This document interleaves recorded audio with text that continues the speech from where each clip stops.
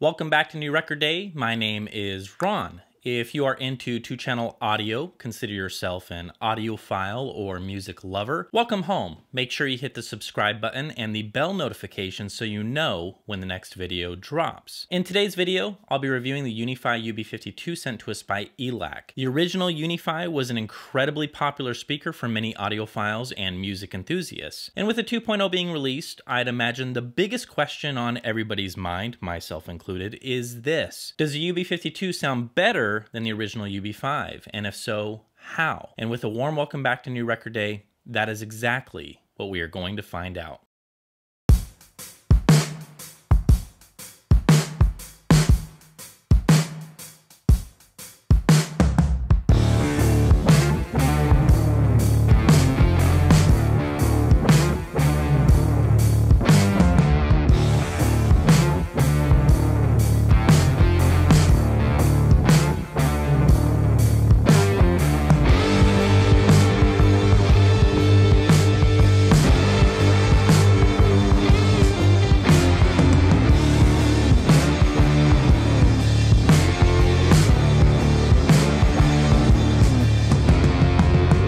Cables for hi-fi equipment doesn't need to be complicated, and today's show's sponsor, Audio Art Cable, is here to help with a wide range of cables for every budget. Now, NRD is no stranger to Audio Art Cable. In the past, we have reviewed their classic line, and we even took their award-winning statement series for a spin. Both of those reviews will be linked in the description down below. Rob Fritz was a huge fan of the original Uni-Fi speakers and owned a pair for himself. For this review, he recommended their Cryo E2 cables, including their IC3 E2 interconnects and SC5 E2 speaker cables. Not only that, Rob suggested trying some of their classic Classic Plus power cords, which we are using on all of the gear upstream. Now, keeping my integrity in check and knowing Audio Art is sponsoring this show, I'll spare you guys with the hyperbole and leave it at this. I do believe that cables can make a difference and recommend Audio Art cables lineup without hesitation. Last, just like he's done before, Rob is offering 20% off all Audio Art cables using coupon code NRD. But guys, you need to jump on it. The coupon is limited to 10 uses, so if you're thinking about it, pull the trigger and save today. Huge thanks to Audio Art Cable for sponsoring today's video. We certainly do appreciate it. Thank you, Rob. The UB52 is a three-way bass reflex design featuring a 1-inch soft dome tweeter, 4-inch aluminum cone mid-range, and 5 and a quarter inch aluminum cone woofer. On the front of the baffle, there is a dual flared port for bass extension as low as mid-40s in room. The nominal impedance of the speaker is 6 ohms, and the sensitivity is rated at 85 decibels. The crossover points are 200 hertz from the woofer to the mid-range, and 2000 hertz from the mid-range to the tweeter. Taking a look on the back of the speaker, the UB52 offers 5-way binding posts, which will accept a wide range of speaker connections, including bananas, spades, and even bare wire. Last, the UB52 comes in black ash vinyl and stands just under 14 inches and is approximately 7 inches wide and 11 inches deep. The first difference between the original UB5 and UB52 is visual. The UB52 is taller and thinner than the original. Also, the port has been moved to the front, just under the woofer. By moving the port to the front, this gives flexibility with proximity to the front wall and allows closer placement without ending up with boomy or exaggerated bass. Another visual difference is the size of the tweeter. Now to be clear, the actual size of the tweeter is approximately the same as the UB5, but the tweeter surround is wider than the original. Based on concepts trickled down from Adante, this gave Andrew more flexibility with the tweeter's ability to not only reach higher frequencies, but also dig lower than the original design. The newer UB52 can now reach 40K, and equally important, offered more flexibility with lower crossover points as well. Being specific, the original UB5 was crossing at 2700 Hz, and the newer UB52 is crossing at 2000 Hz. Another visual change seen in the UB52 comes from DNA that was learned from Navis. The woofer is now a one-piece cone, whereas the original was two pieces, consisting of the cone itself and an inverted dust cap. This change, while visual, also provided the benefit of a stiffer cone and better overall performance. Also, for those that had a hard time driving the original UB5s, good news is here that while the sensitivity of the newer UB52 is the same as the UB5, the nominal impedance has been lifted from 4 ohms to 6 ohms, which makes the UB52 an easier load to drive. Getting to the point, everything driver related on the UB52 is new, so let's get this part right.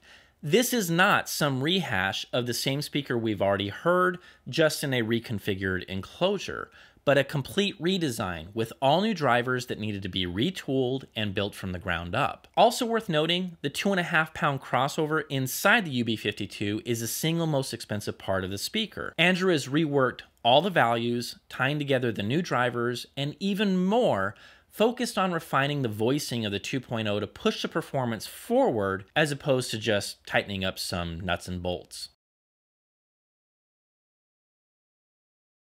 The first thing that I wanted to try with the UB52s was seeing how they perform with lower wattage amplifiers. While I never felt the original UB5s were a difficult load, I was curious if I could tell much of a difference with the newer UB52s. So reaching for my trusty Leo made perfect sense. Rated at 25 watts into 8 ohms and 50 watts into 4 ohms, this seemed like a great choice for seeing just how the UB52s would respond. Well folks, I won't make you wait until the end of the video to share some pretty darn good news. I can say with confidence that the Leo did a fine job with delivering the goods and only when pushed to extreme volumes did it seem to struggle a little bit with bass and dynamics control. Either way, for those that are listening at reasonable volume levels and even dynamic swings into the 90s, something similar to the Leo should pair just fine with the UB52s. Now, I couldn't just stop at the Leo and call it a day besides I am an audiophile. Knowing good and well that I have the brand new Marantz Model 30 and SACD 30 in-house, well, I just had to know what was gonna happen. Paired with this beautiful amplifier which dishes out 100 watts into 8 ohms and 200 watts into 4, I believe there was a more effortless swing to dynamic punches, and having power on tap, it just made me feel all warm and fuzzy regardless of what I threw at the UB52s. Even more, perhaps the biggest difference between the Leo and the Model 30 was a tone shift with the Marantz being a little more lush and offered a silky texture throughout the mid-range. Either way, the lesson here is this. You don't need a ton of power to wake up the UB52s, but when you do toss firepower at them, they will keep pace without breaking a sweat. The moment I unboxed the UB52s and got a good look at them, I was surprised at how much of a difference the slimmer cabinet makes with their overall appearance. While I never felt that the original UB5 was an unattractive speaker, I have to say the slimmer UB52 does indeed make the original design look a little frumpy in comparison. Sorry, Andrew. now, with that being said, and maybe I'm the minority, but I much prefer the original textured vinyl that was released with the original debut and the Uni-Fi over the Black Ash being offered with UB52s, but Black Ash is what you get, and for what it is, the vinyl does look convincingly like veneer. The first thing that I noticed within a few minutes of playtime on the UB52s is a sense of scale that quite frankly surprised me.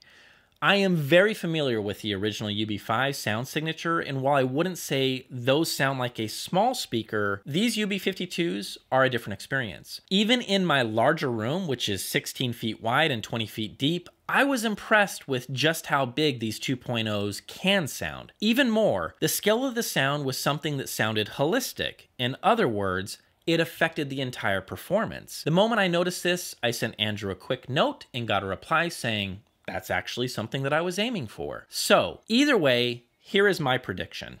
Number one, it will be the first thing that previous owners of the UB5s will probably hear first, and two, it will be the first thing that freaks out people that haven't heard the original UB5s. The second thing that stood out with the UB52s is balance. All too often, I find myself somewhat jaded by the industry, attempting to come out with another flashy speaker that might do one specific thing that grabs our attention, but also neglects so many other fundamentals. In other words, they might make a speaker that wows us with its clarity on top, but when you play music with something like a cello, you almost forget to even pay attention because nothing interesting is happening.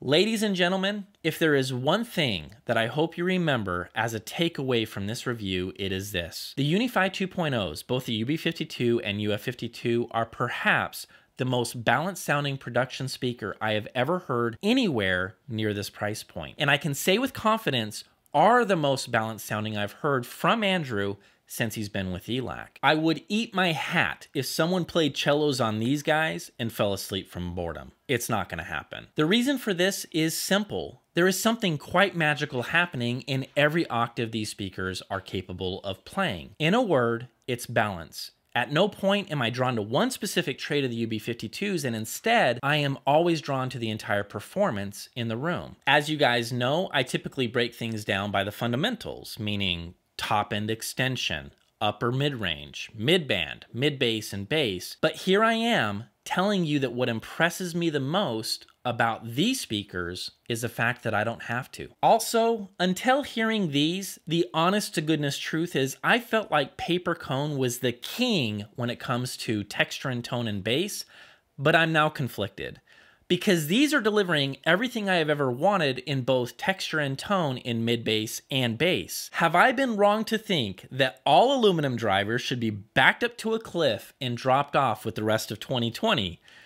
You guys tell me after hearing these because, folks, I report what I hear. And what I have heard in these woofers is clarity, precision, texture, and tone. Consider me confused, but my goodness, these guys rival some of the best that I have heard in that category. Next, what about the ability to disappear? The more I learn about measurements and see the data paired up with consistent observations, I believe that great staging is a game of speaker placement, but is also tied to the speaker's ability to behave off axis, meaning what we hear on axis is a mirror image of what is showering our eardrums from the sidewalls, ceiling, and floors. If you don't plan to watch how these measure in the next segment, I'll spill the beans now. These measure with some of the absolute best I've seen here at New Record Day. Specifically, their vertical off axis is nothing short of incredible. Tight groupings and natural followaways is what I see when I look at the graphs, but more important, it results in a speaker that absolutely vanishes in a room without much trouble at all. One thing I would encourage you to try now that we're covering speaker placement is crossing the streams. Don't worry, I have an entire video showing how to do this step by step. I'll leave it down below. Essentially, you will have the speakers slightly wider than normal, let's say up to a foot past an equilateral triangle, and then you will aggressively toe them in so they are crossing right in front of you, hence crossing the streams. When I did this with the UB52s, I got the best of both worlds. I had a tack sharp center image that's also holographic, more on that in a minute, but also a wide and relatively deep stage that showed off every single instrument within the mix with perfect clarity and precision. Last and perhaps the reason why concentric drivers are so incredible when done well is the UB52's ability to place holographic images front and center. Make no mistake, it's not subtle, and when you hear it, it's addictive. The vocalist will be 3D and to a point where you feel as if they are in the room with you. There are times, depending on the recording, where this effect is downright spooky. So not only do we have scale, giving a large, lifelike performance, and we have balance, so all the instruments sound natural, we now have a dimension to the entire performance. When set up correctly, you will hear a distance between you, the singer, the guitarist, the bassist, and the drummer, and when the singer steps up to the microphone, it's as if you can calculate the actual distance between the tip of the mic to the back of the singer's head. Yes, folks, this is the kind of precision that one can expect with a properly designed concentric driver, and yes, the UB52s absolutely fit in that category. All right, first thing we're going to look at is an impedance sweep. On the woofer side, I'm showing approximately 8 ohms, and on the tweeter side, closer to 11. As we can see, the lowest point hits 4.8 ohms, and considering that's within 80% of the rated impedance, the 6 ohm rating from ELAC fits into this category. Next, using Clio Pocket in a 7 millisecond gated window at 39 inches, I took some shots of the UB52 and here is where we landed. This frequency graph is showing my measured response on axis to the tweeter, which is in red. As you can see, the scale window is set to 50 decibels to 100 100, which still lets us see data in 5 decibel increments. And folks, the response on the UB52s looks great. What we can see here is a clean and even response, even within a 5 decibel threshold, and here is the kicker. Andrew's reference point on the UB52s is actually 15 degrees off axis, so let's compare the two and see how that looks. As if the on axis wasn't already good enough, the reference point in green is even flatter and cleaner. So yeah, if you want my suggestion, when you set these guys up and cross the streams in front of you, see how close you can get to 15 degrees just off axis. I tried it and it is incredible. Now, flat lines are great and all, but let's take a look at the spectral decay. I guess if you get a big enough magnifying glass, you might be able to find some stored energy somewhere, but let's get real. This is exactly what we want to see. Clean and quick to resolve without a trace of any nasty resonances or stored energy. All right, let's take a look at the horizontal off-axis measurements. In this example, I start on axis and I move a degree wheel 10 degrees at a time, which is expressed in the following colors, red, orange, yellow, green, and blue. Remember, what we want to see here is a natural roll off from the on axis point to the others. And in this example, that is exactly what we see. Not only do we see a natural roll off, but we also see a tight grouping. Knowing that I'm measuring outside with sprinklers going off at 6 a.m., birds chirping, cars passing, and yes, my neighbors love me to death, I actually have a feeling this isn't as clean or as tight as these actually measure. Even still, they smoke most of the competition that I have seen, even when compared to speakers that are way more expensive than the asking price of the UB52s. Last, let's take a peek at how the UB52s do on the vertical plane. In this example, I start with the mic on axis to the tweeter, and then I move the microphone up 4 inches at a time, starting with what you can see in order as red, orange, yellow, green, and blue. So yeah, soak it in, folks. And if you hear a mic drop from somewhere in the distance, that's Andrew Jones. Outside of the XLS Encore, this is pretty much the gold standard and one of the best vertical responses that I have ever measured.